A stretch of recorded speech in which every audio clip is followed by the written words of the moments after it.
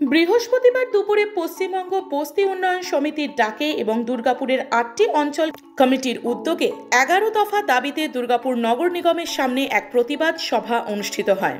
এদিন পাট্টা ও বিকল্প পুনর্বাসন সহ বস্তি এলাকায় সমস্ত রকমের সরকারি সুযোগ সুবিধার দাবিতে দুর্গাপুরের বিভিন্ন প্রান্তের বস্তিবাসীরা প্রতিবাদ সভায় সামিল হয়। এই প্রতিবাদ সভা প্রসঙ্গে দুর্গাপুর বস্তি উন্নয়ন সমিতির পক্ষে রাকেশ শর্মা বলেছেন, আজ বস্তিবাসীরা সমস্ত দিক দিয়ে অবহেলিত হচ্ছে। তারই প্রতিবাদ জানিয়ে আজ নগর নিগমের প্রশাসক বোর্ডের চেয়ারপারসনের কাছে একটি স্মারকলিপি জমা দেওয়া হয়। মুখার্জি ছিলেন। উনি একটা সার্ভে করেছিলেন তাতে উনি দেখিয়েছিলেন যে প্রায় সাতাশ হাজার বাড়ি তৈরি করার একটা প্ল্যানিং দুর্গাপুর মিউনিসিপ্যাল কর্পোরেশন থেকে হয়েছিল। হয়নি।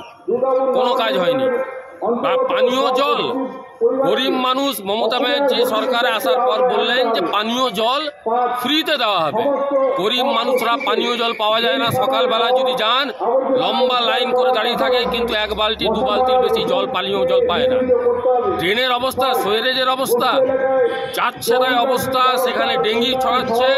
নোংরামি কোনো পরিষ্কার করার ব্যবস্থা দুর্গাপুর মিউনিসিপ্যাল কর্পোরেশনের পক্ষ থেকে গ্রহণ করা হয়নি। আমরা দাবি করেছি গরিব বস্তি মানুষকে ভোটে জেতার জন্য তার ভোট প্রয়োজন কিন্তু ভোট নেওয়ার পর তার ন্যূনতম পরিষেবা দেওয়ার যে কাজ সরকারের নগর নিগমের এডিডি এর সেই কাজ তারা করছেন না। আজ আপনারা কি করছেন? হ্যাঁ? আজ আপনারা কি করছেন? আমরা আজকে বিক্ষোভ জমা দেবো। আমরা ষোলো দফা দাবিকে কেন্দ্র করে অ্যাডমিনিস্ট্রেটরের কাছে আমরা একটা স্মারকলিপি দেব এবং আমরা ডিমান্ড করব যে এই সমস্ত দাবিগুলোকে আপনাকে পূরণ করতে হবে, পাট্টা দিতে হবে। পাট্টার মূল দাবি পাট্টা দিতে হবে। জমিতে বসার অধিকার দিতে হবে। অন্যদিকে দুর্গাপুর নগর নিগমের প্রশাসক বোর্ডের সদস্য দীপঙ্কর লাহা বস্তি উন্নয়ন সমিতির আনা সকল অভিযোগ অস্বীকার করে বলেন, যেখানে বৈধ সরকারি কাগজপত্র নেই, সেখানে সরকার কখনোই পরিষেবা দিতে পারে না। এটা সিপিএম এর জানা উচিত।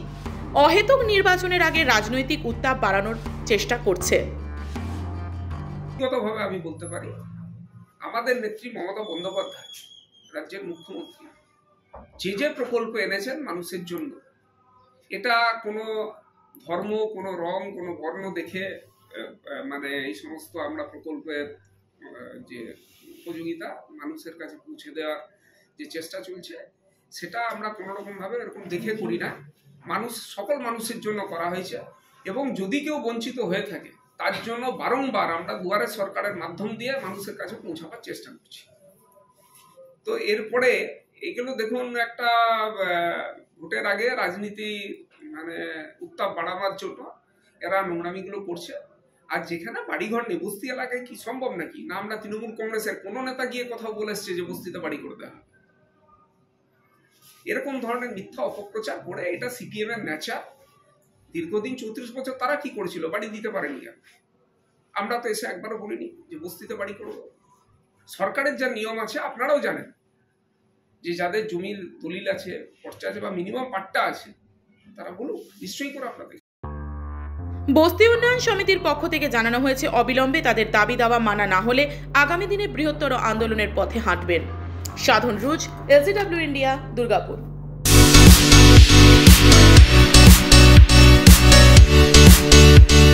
Samir digital ও অনুরাগ ইনফোমার্ট শহর দুর্গাপুরে একমাত্র ইলেকট্রনিক্স আইটেমসের নির্ভরযোগ্য প্রতিষ্ঠান, যার সততা ও বিশ্বস্ততা আপনাকে মুগ্ধ করবে।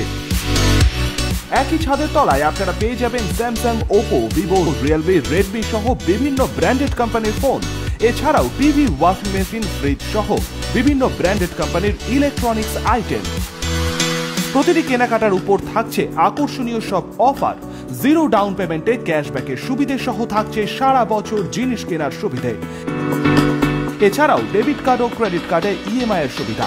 শুধু ব্যবসায়ী নয়, লভ্যাংশের একটি অংশ তারা ব্যয় করে থাকেন সামাজিক কাজে। তাই দেরি না করে আপনার পছন্দের ইলেকট্রনিক্স আইটেম কিনতে আজই আসুন সমীর ডিজিটালস ও অনুরাগ ইনফোমার্টে প্রোডাক্ট কিনুন আর সামাজিক কাজে হাত বাড়িয়ে দিন।